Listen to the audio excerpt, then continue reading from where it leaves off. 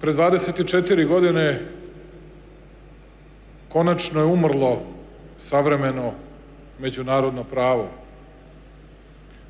I to vam zvuči kao nevažna birokratska rečenica.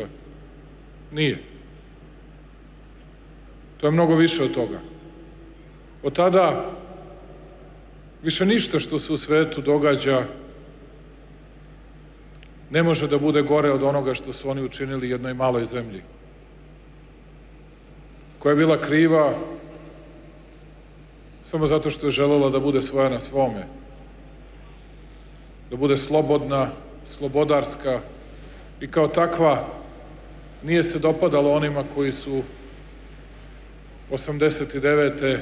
90. srušili stari i stvorili novi poredak u kojem se samo oni pitaju za sve, a neposlušni moraju da budu kažnjeni.